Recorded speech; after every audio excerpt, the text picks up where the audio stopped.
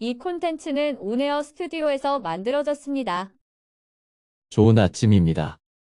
거리마다 오고 가는 많은 사람들, 웃으며 기다리던 크리스마스의 계절입니다. 12월 한 날을 정하여 예수 그리스도의 탄생을 축하하는 시기입니다. 성탄의 장식들과 캐롤송으로 거리가 밝아지고 우리 마음이 즐거워지는 크리스마스도 좋습니다.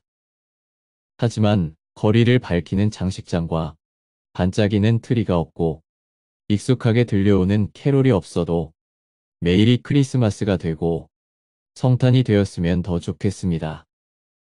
삶 속에서 문제가 해결되고 삶의 목적을 이뤄가는 진정한 의미의 성탄인 매일 크리스마스가 당신의 것이 되길 응원합니다.